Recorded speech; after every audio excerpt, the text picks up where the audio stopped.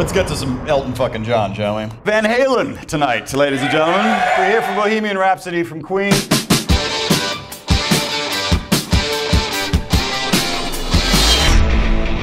I am Christian James Hand. I host the session. Welcome to the session! I'm doing a live show a month and they're selling out faster and faster. The last one was Bohemian Rhapsody and that sold out in 34 seconds with no real advertising at all, just straight word of mouth. The show is R rated because this is how I talk. Go fuck yourself if you don't think this is a great band. Give a fuck! The session is a blueprint. The experience of hearing isolated tracks, it's a window into a world that the average person has never experienced. My conjecture is the Queen of the greatest band in the history of music. See? See how many people don't think that that's true? I'm about to show you how fucking stupid you are. It starts with drums first, this is fucking nuts. then the bass. Oh yeah. Did I mention that Michael Anthony is a fucking baller on the bass? Then the guitars, It is literally unlike any other guitar ever recorded. This entire thing is constructed by Brian May and his father when he's 11 years old. This became a real whammy bar, but started out as the kickstand from his bicycle. And then the vocals. You went to school to learn, girl, things you never, never do before. This is how fully formed he is at this age. It's shocking.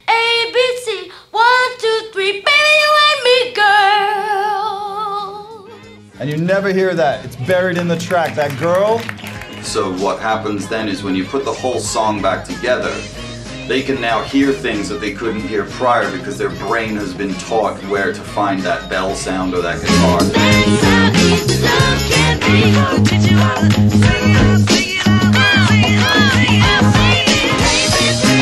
what the fuck, dude?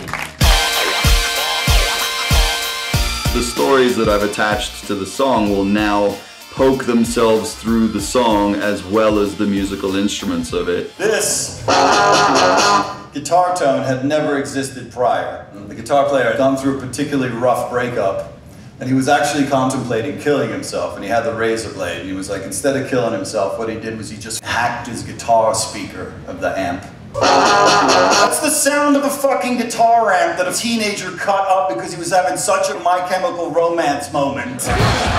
It's no longer just the song, it is the song and the story and the players and the context.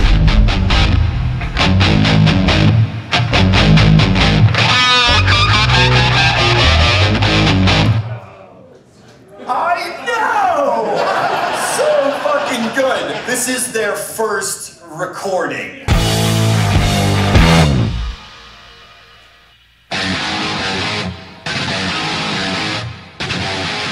I have worn just about every hat that you could wear in the music industry. I've played and I've worked at labels and I've been on the road and worked in radio, all in service to music. Having done that album, I felt like I had to leave Genesis because I wanted it to be me more.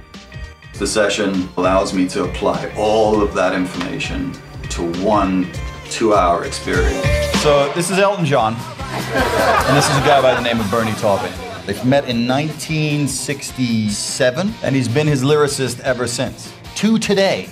What is this relationship? This guy gets to have his life perspective sung by this dude.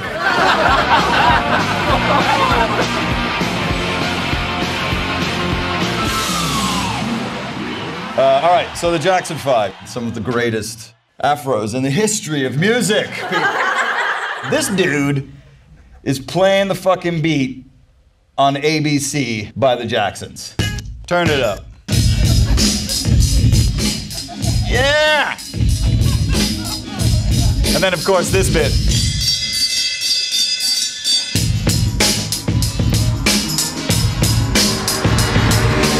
Is a fucking white guy.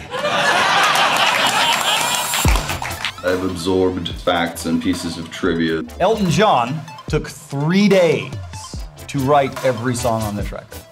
Not three days to write Candle in the Wind, three days to write every single. Did you fucking hear? Three days. And he, he admits he was like, he hadn't even discovered drugs at this point. Sick! I mean, that's why I labeled it sick. Look at this freaking live show. None of this is plugged in. Useless! I just watch everybody in the room go, what? Freddie Mercury recorded the entire last record they did together knowing that he was gonna die. Mama, life had just begun, but now I've gone and thrown it all away. So I had no idea what I was getting into. I will never listen to Bohemian Rhapsody in the same way again. So when I've got this thing, I noticed this. And I was like, what's that? So I went in and I jacked up the volume. Oh, okay. Freddie just played all of Bohemian Rhapsody, start to finish, and then at the end of it, shuts the piano and just goes, ah, fuck it. I mean, that is like one of the greatest fucking secrets to ever be revealed. When I play the isolated tracks for the artists themselves, you get to watch someone who you consider a god reduced to a fan.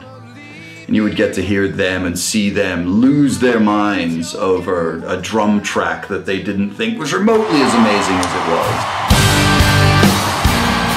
was. With Stone Temple Pilot, it was a really emotional experience because I hadn't thought that they would never have heard Scott singing on his own. Turns out he was incredibly self-conscious, so the whole band would get kicked out of the studio. So I got to sit with them as they, for the first time in 25 years, heard Scott singing completely on his own with coughs, and you can hear him shuffling in the studio. And I feel it. And I feel it. Where you going for tomorrow? Watched them close their eyes, and it was obvious that they were being transported back to that moment. And to sit and watch a band go through that experience for somebody who had passed away was profound for, for me, but was much more profound for them.